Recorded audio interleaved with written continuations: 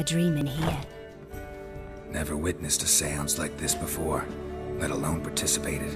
I will guide you. We must first achieve a kind of mental accord. I must ask some questions. You must answer them. It's important you're truthful. Answer from your heart.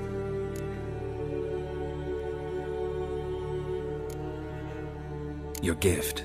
Tell me how it works. It's hard to describe. To start with, I must gain an understanding of the bond between the person and the object I'm to dream about. I ask questions, try to flesh out feelings, emotions. Truth is essential in this.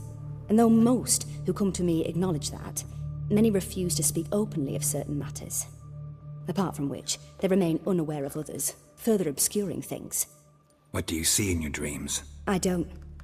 It's my client who sees. My gift lies in summoning the right dreams. At times, nightmares or strong desires impose themselves on true events. It takes skill to separate seed from chaff.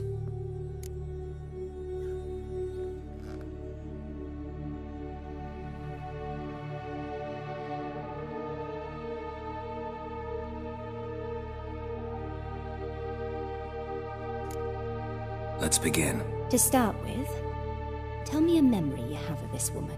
What for? Do as I ask, please.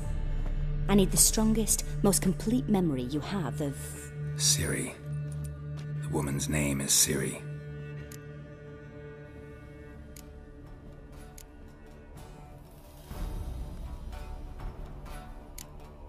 It was after her time training at Kaer Morhen. After the moment when Yennefer first called Ciri her daughter. We'd been separated. I knew she was in danger. I dreamt of her multiple times. I found her at Stygga Castle. She'd gone there to free Yen and gotten herself captured in the process. They wanted to hurt her. I remember fighting side by side with Ciri on stairs slippery from blood. It was the first time she ever deflected a crossbow bolt with her sword. Told her never to try it again. These memories, they're intense. Do you wish to continue? More to say. Then please do. I accepted a job once. Did it. Asked to choose my reward, I invoked the law of surprise. Never thought I'd actually meet the child promised to me at that time. Years later, I was in the Brokilon forest. Happened on a girl there. Didn't know who she was. The Dryads wanted to keep her, turn her into one of their own. But the Waters of Oblivion, they failed in her case. Ciri came out of Brokilon with me. I sent her back to her grandmother then. But already, I felt bound to her. By destiny. By something more. Thank you. Would you be willing to share another memory?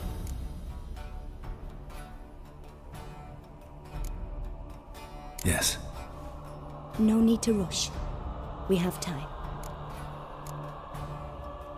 Ciri was orphaned during the Second War with Nilfgaard.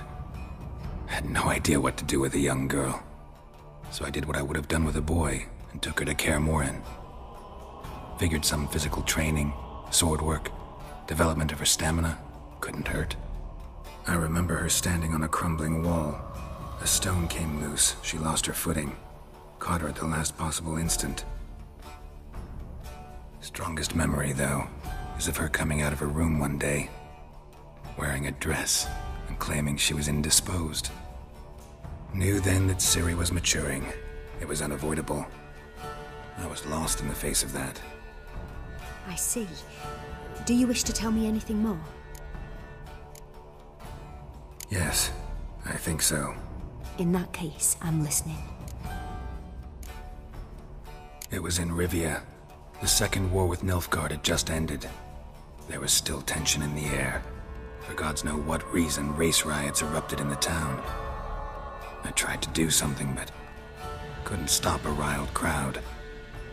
A boy with a pitchfork. He ran it right through my gut. Yennefer lay dying as well. Ciri had us carried onto a boat. We sailed to a place where apple trees bloom eternal. She left us there. It was the last time I saw her.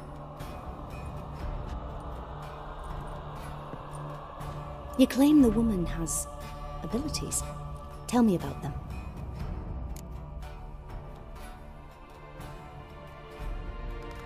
She's a child of the Elder Blood. A descendant of Bloody Falka. The rebel burned at the stake. The prophecies claim the world's destroyer will be born of the Firebrand's cursed blood. Pure legend. No one a legend transforms into prophecy? When it gains believers. I think you're right to be reticent in talking about the woman. I see. Do you wish to say more? Yeah, there's something else. They call Ciri the Lady of Space and Time. Once I asked Yennefer why. She travels between worlds. Turns out I don't know how to talk about it. Didn't really understand much of what Yen told me. I just know there's more to it than traveling to different places, and that Ciri carries immense power in her blood. I see. Do you wish to say more? Yeah, there's something else. I remember Ciri having trouble controlling her abilities.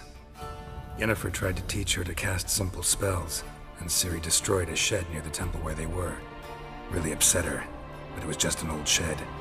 I know it took her a while to gain control, and frankly, I doubt she controls her abilities fully to this day. I see. Do you wish to say more? No. Can we start? Naturally. I knew you cared about her. But your tone, the emotions you so carefully conceal. Let's continue, please. Make yourself comfortable and try to relax. You must take my hand and talk of Ciri. Tell me where you think she might be. Who could be at her side? Mm-hmm. If Ciri couldn't find me, I'm sure she would have looked for another friend. Who do you mean? Yennefer wasn't in Novigrad. Triss was. But Ciri never found her. Maybe Dandelion? They liked each other a lot.